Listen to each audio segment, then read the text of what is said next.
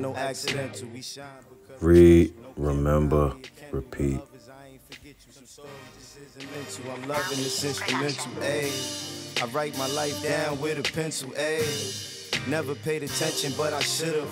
Never finished blocks. Salute, salute to y'all. Miraculous, miraculous week over here at the Read, Remember, Repeat Studios. And y'all know we kicked the show off showing some love.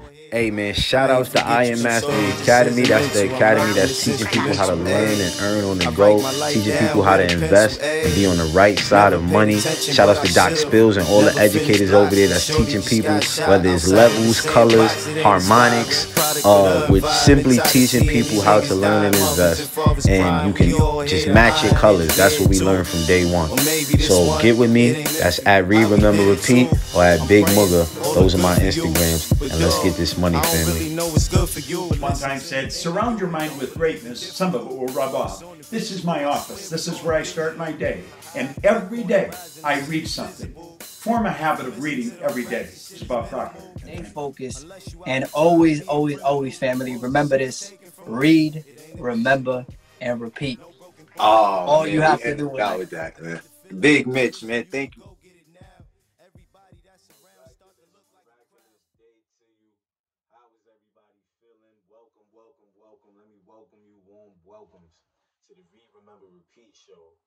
And um, y'all know what's going on. Excuse me.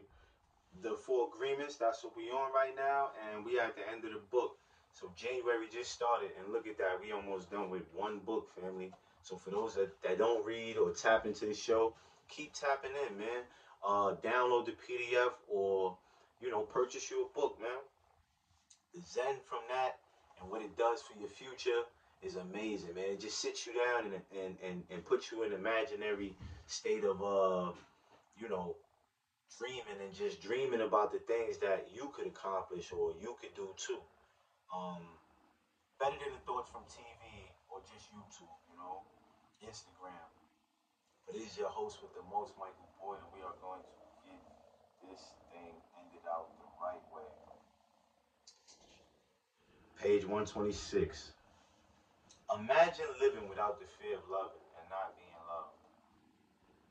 You are no longer afraid to be rejected, and you don't have the need to be accepted. You can say, I love you with no shame or justification. You can walk in the world with your heart completely open and not be afraid to be hurt.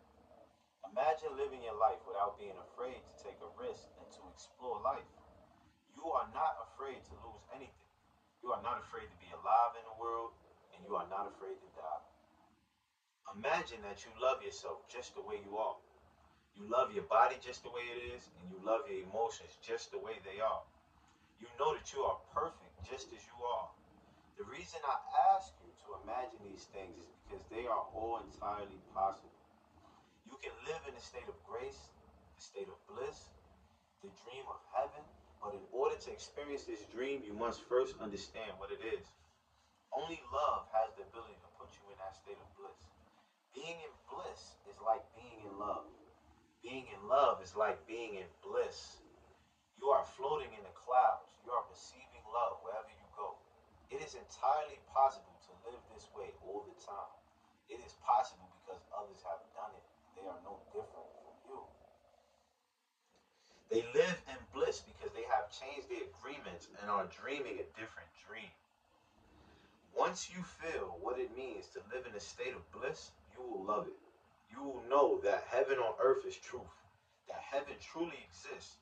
Once you know that heaven exists, once you know it is possible to stay there, it's up to you to make the effort to do it.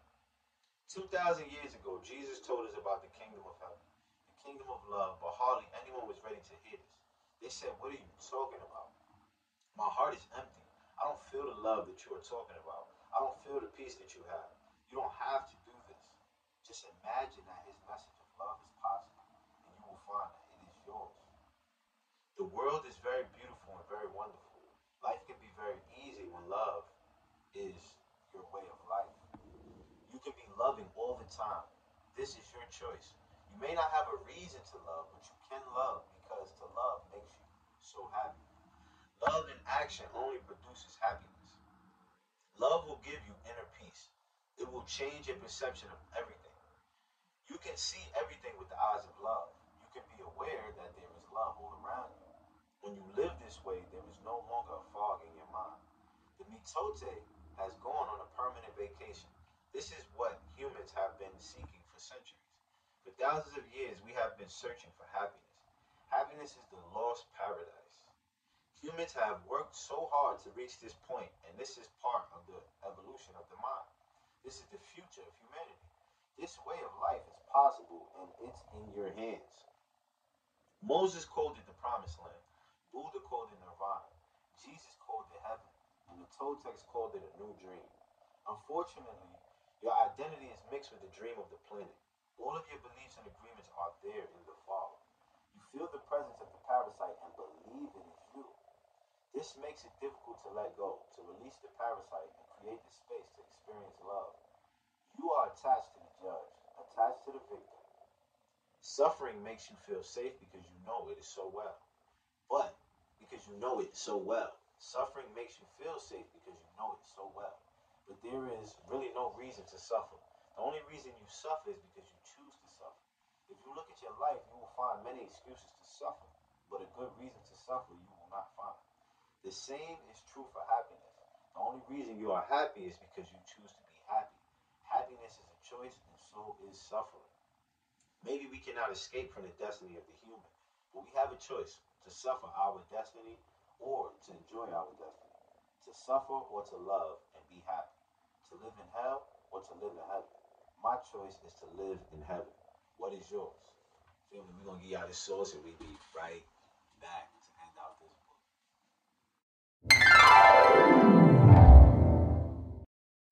Number five is being honest with yourself. The key to happiness is holding yourself accountable for everything that goes on within your control. Whenever you're being honest with yourself, you focus on existing. You're no longer the center of attention or the conductor of the train. You're now, you have become the couch.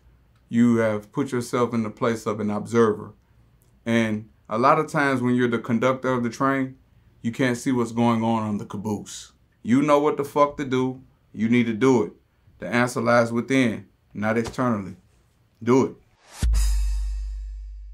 Number four is knowing what you want. In order to get what you want, you have to know what you want. You have to discipline yourself and align yourself to achieve these goals. Why accept failure when success is free?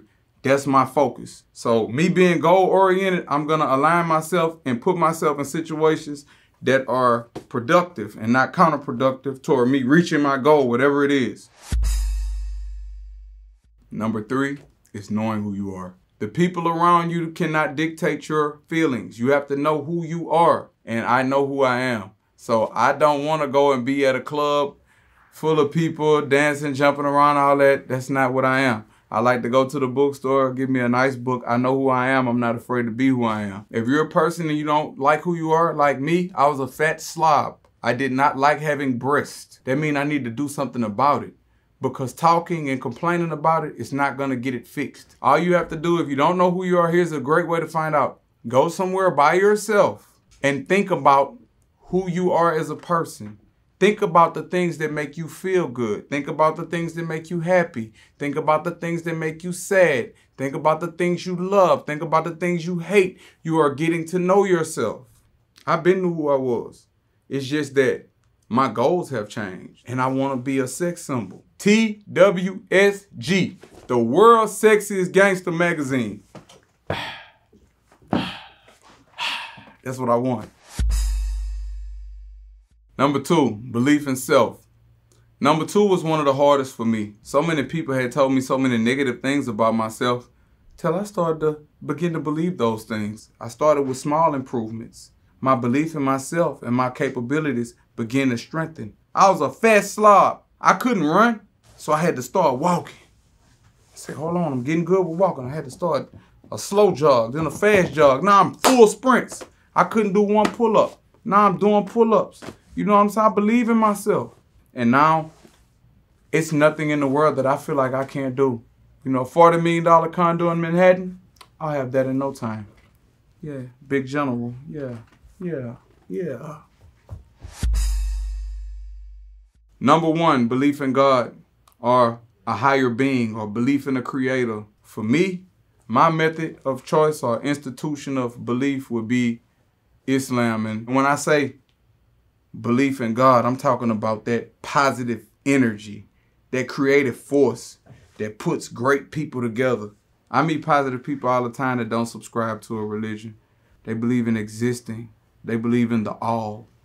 Like they just believe in it. Like all is one and one is all. Like when you go in nature, everything coexists without interference. It may look wild, but it's so organized. We as humans, sometimes we get outside of that. We get outside of existing and becoming better people, and we start trying to get better things. And it's cool to have things, but when you have things, things end up having you. But when you have yourself, oh my God, it's a beautiful situation.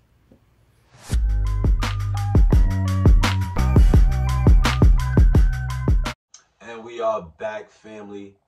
Know what I mean, um, we are definitely gonna finish out this book. This is the end of it, and this one is prayers.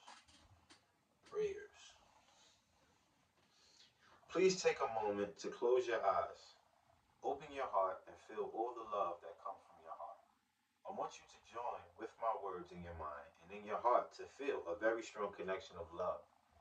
Together, we are going to do a very special prayer to experience communion with our Creator.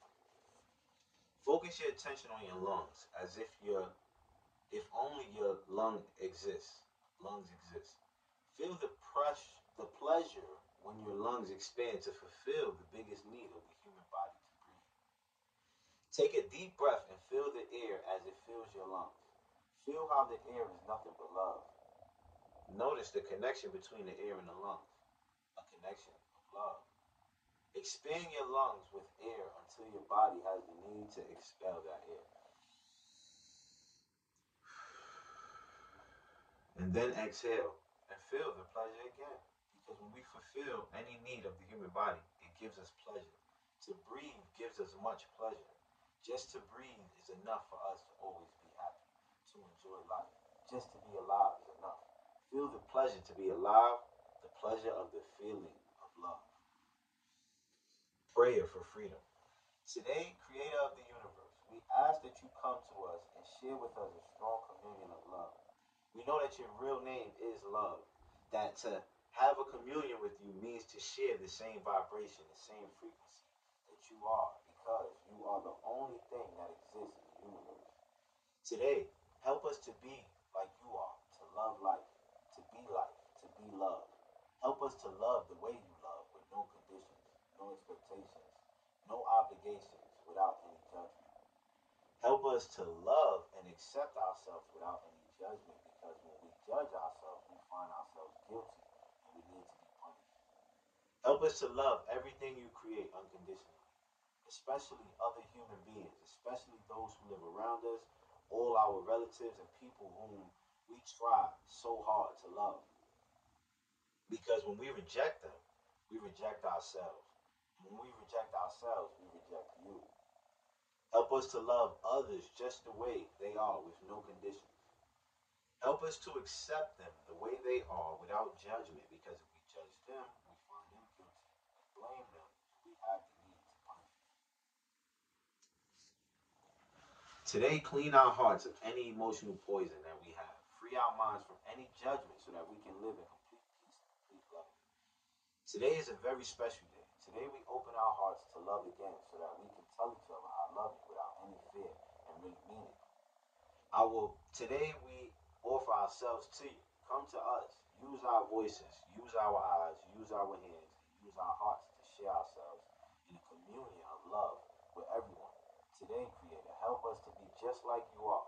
Thank you for everything that we received this day, especially for the freedom to be who we really are. Amen. Prayer for love. Are going to share a beautiful dream together. A dream that you will love to have all of the time. In this dream, you are in the middle of a beautiful, warm, sunny day. You hear the birds, the wind, and a little river.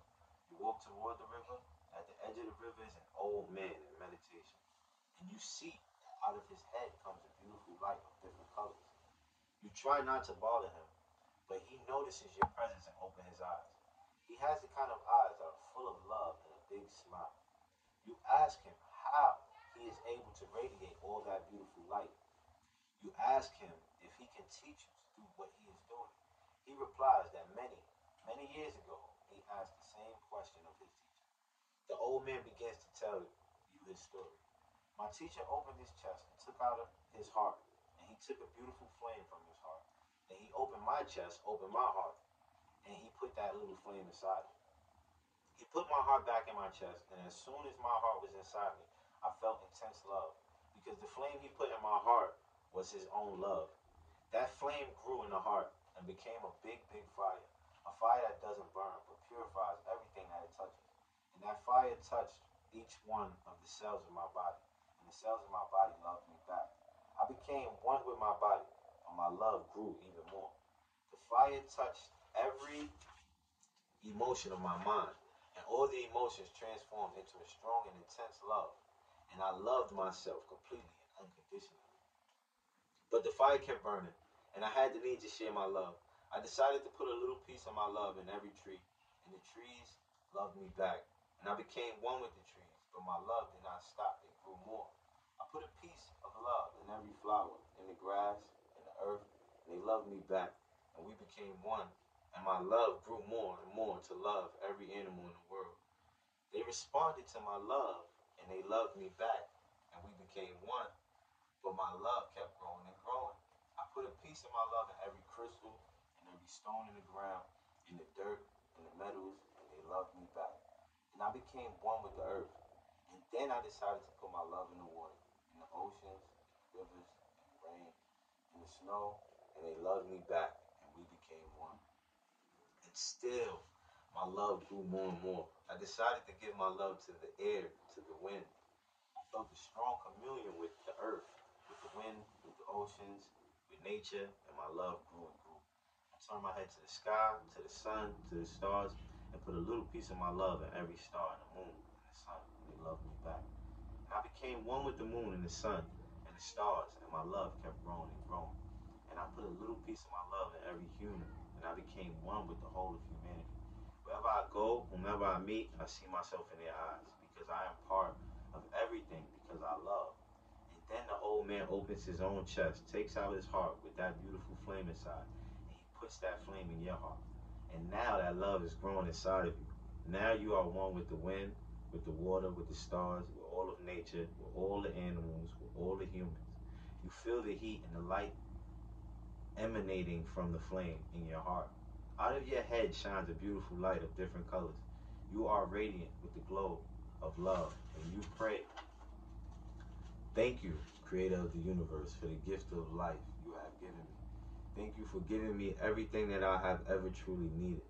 Thank you for the opportunity to experience this beautiful body and this wonderful mind. Thank you for living inside me with all your love, with your pure and boundless spirit, with your warm and radiant light. Thank you for using my words, for using my eyes, for using my heart to share your love wherever I go. I love you just the way you are. And because I am your creation, I love myself just the way I am.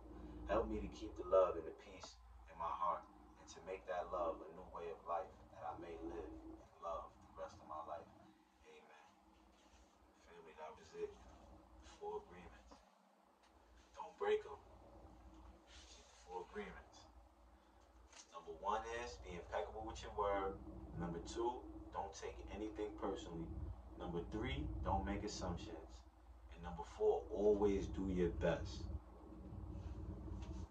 No accidental, we shine because we special. No Kim, Kali, or Kendall. The others, I ain't forget you. Some stories just isn't mental. I'm loving this instrumental, ayy. I write my life down with a pencil, ayy. And if you into showing support, go get Grateful. My first book as an author. I put out a journal that has 365 days for you to write down things that you are grateful for. So family, tap in. Let's go. Maybe this one, it ain't meant for you. I think about now and when I finish too. I think about mind, body, and spiritual. Like leaving something gone, you still feel it too. And right